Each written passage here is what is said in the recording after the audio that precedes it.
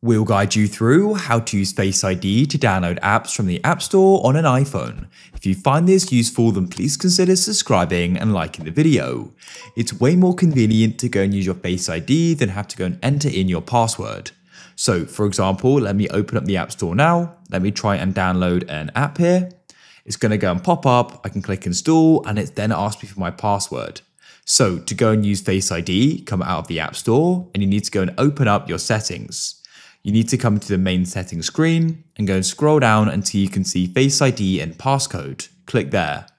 You'll need to go and enter in your passcode. The top here, make sure Face ID is set up, mine is, and you need to go and switch on iTunes and App Store, like so. You'll need to go and enter in your Apple ID password to confirm this, which I've now done. And so then what I can do is come back to the App Store, I can try and download an app, and now it's going to go and ask me to double click to install and then go and scan my face. If you found this guide useful, then leave a like.